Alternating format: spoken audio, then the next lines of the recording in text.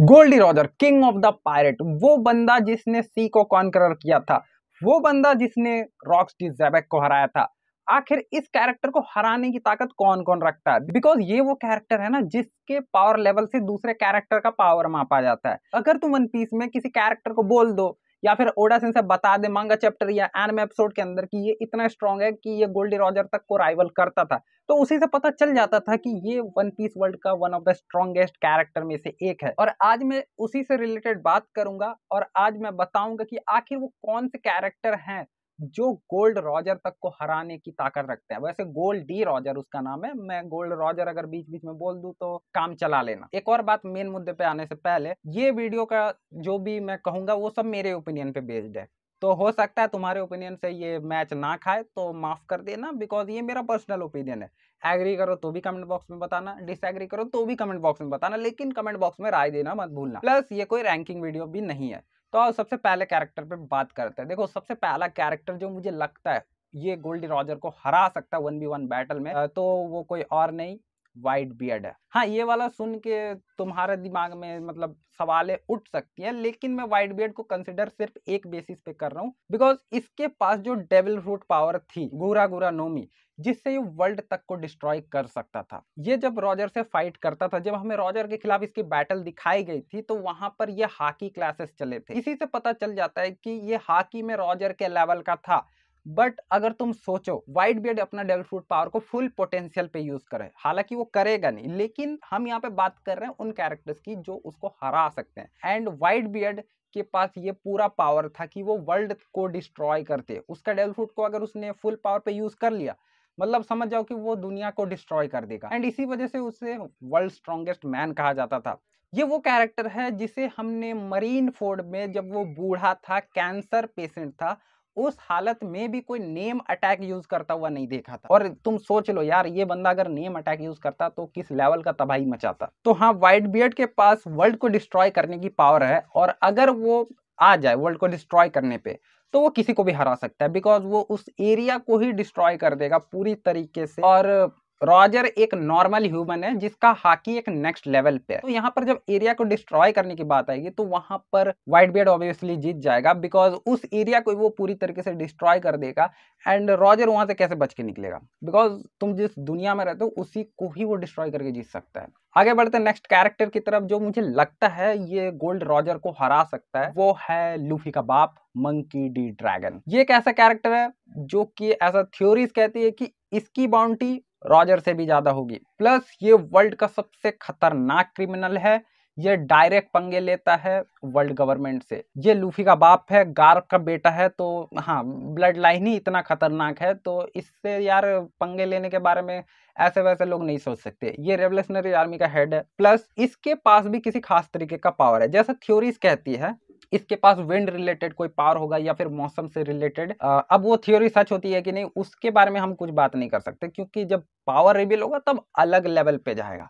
But सबसे बड़ा main चीज़ जो आता है ना, वो था सैबो का हाकी सैबो को तुमने एक खास तरीके का हाकी टाइप अटैक करते हुआ देखा होगा ड्रैगन क्लो एंड ये ड्रैगन क्लो बाकी जितने भी हाकी अभी तक हमें वन पीस के अंदर दिखाए गए हैं मतलब हाकी तो तीन ही है, पर वो हाकी को यूज़ करने का तरीका, ये उन सबसे अलग है। हमने सैंक्स को भी आज तक नहीं देखा रेली को भी नहीं देखा गार्प को भी नहीं देखा, और ना ही वानो आर्क में भी देखा। लेकिन जो सैबो यूज़ करता है, इसे 100 परसेंट मंकी डे ड्रैगन नहीं सिखाया है। और ये कैरेक्टर अगर हमें पावर दिखाता हुआ रिवील होता है तो हम शायद ये कह सकते हैं कि ये वो कैरेक्टर है जो गोल्ड रॉजर को हरा सकता है। आगे बढ़ते हैं और तीसरे कैरेक्टर पे आते हैं जो मुझे लगता है गोल्डी रॉजर को हरा सकता है, वो है इमोसामा। इमोसामा के बारे में हमें बहुत कम पता है, इसके पावर के बारे में भी बहुत कम पता है। इसका ट्रांसफॉर्मेशन या कहूँ सैडो टाइप जो पावर हमें एक सिलोएट में दिखाया गया था और सैबो जब इनसे लड़ा था एक तरह से, उस टाइम पे शो किया गया था और देखो, इमोसामा सबसे हाईएस्ट अथॉरिटी पे बैठती है, या बैठता है, इसका जेंडर अभी तक रिवील नहीं हुआ है,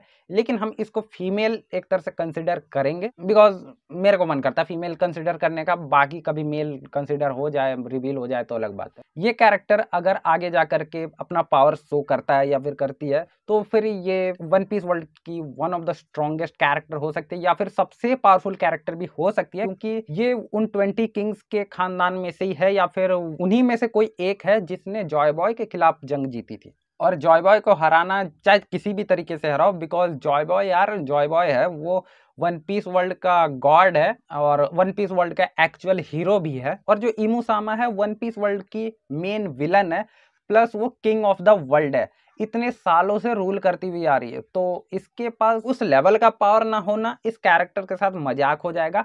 प्लस फाइव एल्डर्स तक को ये झुका के रखते हैं मतलब हाँ यार, ये स्ट्रॉन्ग तो होगी ही। आगे आते हैं नेक्स्ट कैरेक्टर पे बात करते हैं, जो मुझे लगता है कि गोल्डी रॉजर को हरा सकता है, वो कोई और नहीं, वो है अपना जॉय बॉय और अभी वाला जॉय बॉय नहीं प्रीवियस जॉय बॉय जो 800 साल पहले एग्जिस्ट करता था 800 या 900 साल पहले। और देखो, मैं अभी वाले जॉय बॉय को इसलिए कंसिडर नहीं कर रहा हूँ बिकॉज़ अभी वाला जो जॉय बॉय है, अपना लूफी, वो अभी उतना पावरफुल नहीं है, जितना एक्चुअल जॉय बॉय है। हमें उसके पावर के बारे में बताया गया है, लेकिन लूफी को नहीं पता कि वो क्या क्या कर सकता है।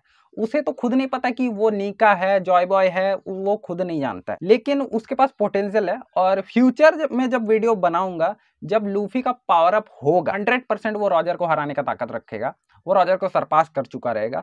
लेकिन फ़िलहाल लूफी उतना स्ट्रांग नहीं है। बात करूँ वो जो प्रीवियस जॉय बॉय था, उतने साल पुराने वाला वाइट सेंचुरी टाइमलाइन से हाँ भाई वो बंदा तो क्लियरली वो वन पीस वर्ल्ड का स्ट्रॉन्गेस्ट कैरेक्टर है। इमू सामा को अगर हम छोड़ दे तो इमू सामा का क्योंकि पावर रिवील नहीं हुआ है। बट जॉय बॉय का पावर हमें शो किया गया, बस झलक ही दिखाया गया लूफी के थ्रू लेकिन एक्चुअल जॉय बॉय का पावर हम उसी से अंदाज़ा लगा सकते हैं कि भाई उस जमाने का वो फ़र्स्ट पायरेट था। एंड उसके पास एक तरह से कहूँ, वो पहला यूज़र था भाई नीका वाला पावर का। अब उसने डेविल फ्रूट के थ्रू किया था या फिर वो पैदा ही उसके साथ हुआ था, वो अलग बात। लेकिन तुम ही सोचो इमेजिनरी पावर अगर वो यूज़ कर सकता है सो वो किस लेवल पे होगा? नेक्स्ट कैरेक्टर पे आता है और ये वाला फाइनल है। बिकॉज़ इसके बाद मुझे नहीं लगता कि कोई और कैरेक्टर बचता है जो गोल्ड रॉजर को हरा सकता है, क्योंकि Gol D Roger one of the strongest character है यार। इससे लड़ने की पावर है कुछ लोगों के पास है, इसको हरा पाना तो दूर का बात है। तो हाँ मुझे एक कैरेक्टर अब भी दिखाई देता है जो उसको हरा सकता था, वो था रॉक्सटी जैबेक और ये वाला तो भाई हर कोई जानता है कि रॉक्सटी जैबेक सबसे स्ट्रॉन्गेस्ट कैरेक्टर जो हमें पायरेट में ऐसा दिखाया गया है, जिसके बारे में चर्चे भी तक सुनाए जाते हैं। ये वो बंदा है जिसके अंडर आज के योंकोस काम करते थे पायरेट में तो भाई उसका सबसे बड़ा भौकाल था और वो किंग ऑफ़ द वर्ल्ड बनना चाहता था और वो दम भी रखता था, शायद वो बन भी जाता बिकॉज़ फाइव एल्डर्स सबसे हाईएस्ट अथॉरिटी पे है एंड उस गद्दी पे इमूसामा बैठता है या फिर बैठती है। और रॉक्स डी जैबैक भाई, उसके अंडर ऐसे कैरेक्टर काम करना। प्लस उसको हराने के लिए दो सुपर पावर का हाथ मिलाना पड़ा था गार्प एंड रॉजर को। फिर भी जो गार्प का चेहरा है, वो इस हालत पे आ गया था। तुम देखो, प्राइम गार्प को तुम इस चेहरे के साथ इमेजिन कर सकते हो भाई। बूढ़ा गार्प गैलेक्सी इंपैक्ट मार के वो एरिया मतलब इतना बड़ा एरिया डिस्ट्रॉय कर रहा है। प्राइम गार्प का ये हाल होना, ये शो करता है कि गॉड वैली पे किस तरीके से वन पीस वर्ल्ड के स्ट्रॉन्गेस्ट बिंग भिड़ गए थे। वैसे यही था वीडियो तुम्हारा क्या मानना है? इससे रिलेटेड मुझे कमेंट बॉक्स में बताना मत भूलना। अब वीडियो पसंद आया वीडियो को लाइक मारो। चैनल पे नहीं आ गए इस चैनल को सब्सक्राइब करके बेलाइकन ऑन करो, जिससे मैं जब भी कोई नया वीडियो डालूँगा तुम्हारे पास नोटिफिकेशन चल जाए